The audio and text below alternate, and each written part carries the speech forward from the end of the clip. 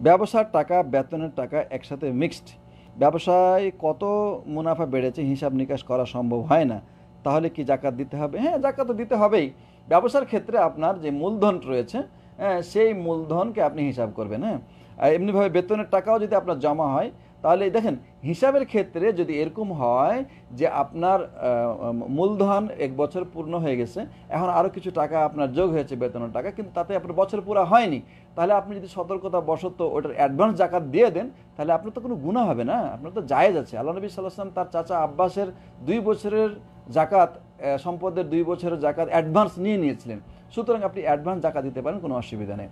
মানে বছর পুরা হওয়াটা জাকাত ফরজ হওয়ার শর্ত কিন্তু জাকাত আদায় করার শর্ত না। অর্থাৎ আপনি যদি জাকাতের বছর পুরা হয়নি, তারপর আপনি জাকাত দিয়ে দিন হিসাব করে, তাহলে আপনার জন্য জাকাত হয়ে যাবে এবং এতে কোনো অসুবিধা নাই ইনশাআল্লাহ।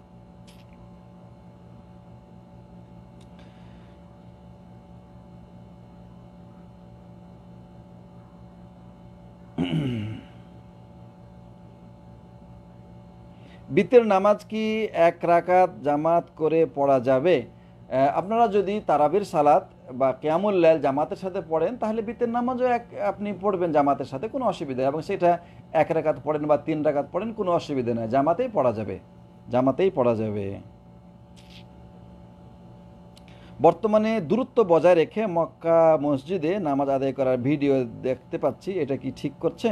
না, এটা ঠিক নয়। শেখ আব্দুল মোহসেন আল আব্বাদ মসজিদে নববীর সবচেয়ে প্রবীণ, প্রখ্যাত মহাদ্দেশ সৌদি আরবের নাম করা আলেম, এক নামে সবাই চিনে, তিনি বলেছেন যে এটা জামাতের জন্য যথেষ্ট নয় এবং এটা বিশুদ্ধ নয়।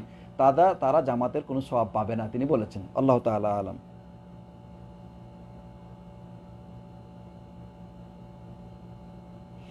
দাড়ি রাখার বিষয়ে কিছু বলেন। হারামায়নের ইমামকে দেখেছি দাড়ি ছোট করতে। আপনি কি সচক্ষে দেখেছেন দাড়ি দাড়ি ছোট করছে?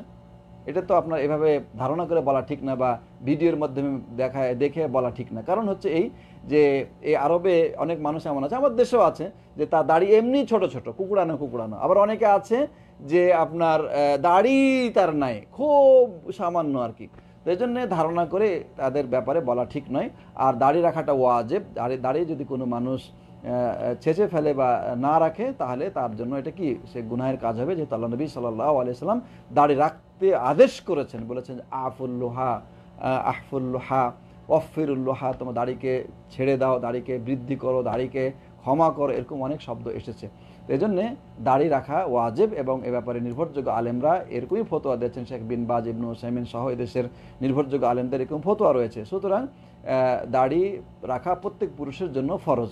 আর যদি দাড়ি না রাখে, তাহলে সে এই ফরজ তরককারী হিসেবে গুণাগার হবে। আল্লাহ তাআলা আলাম। তো আমি আমার আলোচনা এখানে আজকে সমাপ্ত করছি। আল্লাহ সুবহানাহু ওয়া তাআলা আমাদেরকে যেন দিনের ওপরে অটল এবং অবিচল থেকে চলার তৌফিক দান করেন এবং আল্লাহ যেন আমাদেরকে ইমানের উপর দান করেন। যে সমস্ত ভাইয়েরা, মুসলিম ভাইয়েরা বিভিন্ন জায়গায় এই করোনাতে আক্রান্ত হয়ে, অসুস্থ হয়েছেন, তাদের জন্য দোয়া করি আল্লাহ যেন তাদেরকে খুব তাড়াতাড়ি সুস্থতা, নিরাপত্তা দান করেন। আর যারা এই রোগ নিয়ে মারা গেছেন, তাদেরকে যেন আল্লাহ তালা শহীদের মর্যাদা দান করেন, তাদের সকল গুনাহ ক্ষমা করে তাদেরকে জান্নাতে অধিবাসী করেন। আমিন। সাল্লাহ আলা নবীনা মোহাম্মদ আলা আলহি ওসাবি আজমাইন। জাজাকুমুল্লাহ খাইর। আসসালামু আলাইকুম রহমতুল্লাহ বারকাতুহ।